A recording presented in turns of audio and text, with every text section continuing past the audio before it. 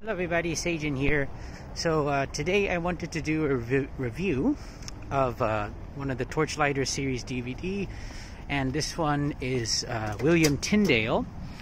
So he, uh, his story was probably the first one that I actually watched out of the whole series, and it uh, got me hooked on to the Torchlighter series ever since. So um, it was, I really recommend it so basically, William Tyndale, he was um, maybe the first or one of the first people that uh, translated the Bible uh, into English. Um, and um, but at the time, it was actually illegal to translate the Bible into uh, into English at that time. Uh, the Bible could only be interpreted uh, by the uh, officials of the church, the Christian church at the time, and um, it was all written in Latin, so the common people couldn't understand it. But um, um, so William Tyndale, he felt that uh, he had a, he felt a strong urge to really change that. So even though he knew that it was illegal and he could face death, he actually um, uh, worked on translating the entire Bible.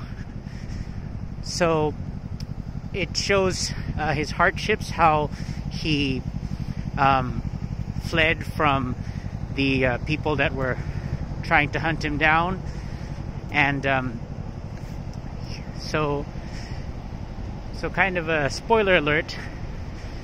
But um, unfortunately, at the end, he is caught, and then he's tried as a heretic, and he's burned at the stake.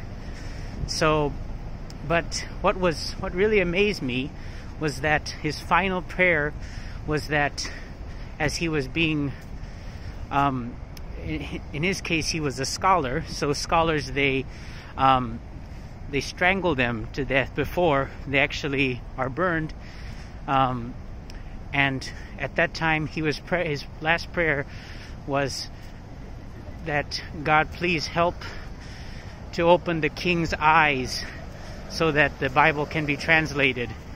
So it's just amazing to see um, that till the very end that was really his passion and um, I, I, felt I could learn so much from it. I was just seeing that I was bawling at the end.